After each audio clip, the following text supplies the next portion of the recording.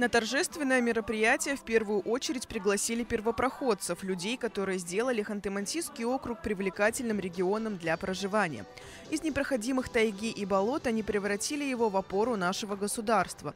Строили города, добывали нефть, учили детей и развивали сферу здравоохранения. В зале депутаты Думы, представители предприятий и организаций всех форм собственности, а также активисты-общественники. Меняется у нас мышление по поводу того, что там где-то большая земля, а здесь мы на крайнем севере. Уже югра превращается в большую землю. И это все благодаря вам, потому что все условия для жизни есть и здесь. Дорогие земляки, желаю, чтобы наш округ и дальше развивался, был стабилен, чтобы были здоровы наши дети, рождались, и здоровы были наши отцы и деды.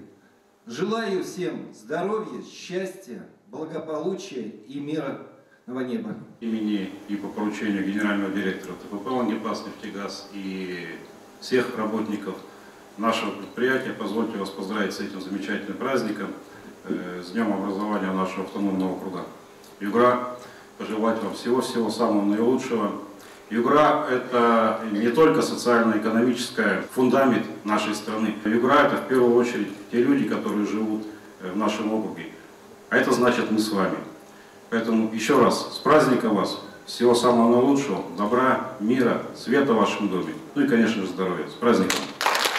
Более 30 человек получили в этот день награды разного уровня, а творческие коллективы Центра культуры «Нефтяник» подготовили торжественную программу «Влюбленные в север». Симбиоз музыки, света и танца создали на сцене атмосферу далеких 70-х и 80-х. Это годы созидания и расцвета Ханты-Мансийского округа. А какой не пройдем мы траве,